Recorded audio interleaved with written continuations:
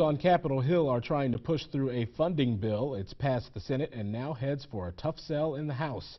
That political volley puts health care on the line for thousands of people in the Quad Cities.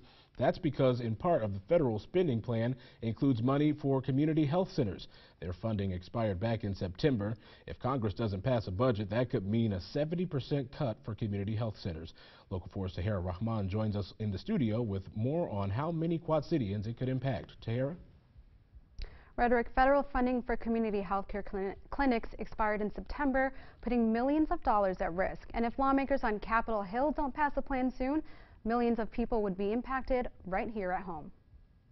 I mean, I wouldn't go nowhere else. Keisha has been coming to the community health care clinic in Davenport regularly for more than a year now. It's, it's really reasonable it's affordable. She checks up on her thyroid and blood pressure and says her costs would skyrocket if she went to a private office. Here goes by your income at some private care, you're going to go in at the door with $50. Some people don't have $50.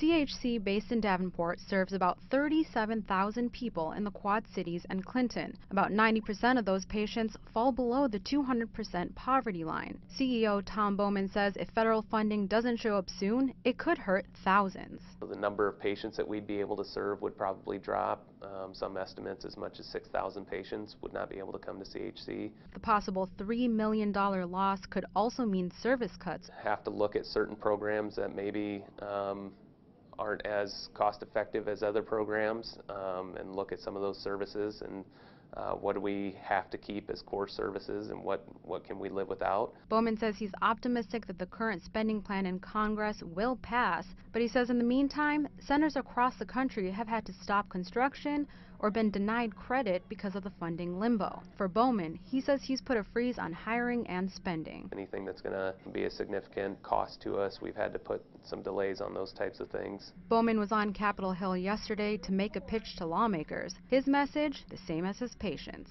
You hurt a lot of people by not sending funding. We need funding. Bowman says he's confident that the current spending bill will pass Congress soon, but he says it's still a temporary fix, only two years. He says the CHC is looking at long-term solutions to keep funding steady. In the studio, Tahera Rahman, Local 4 News.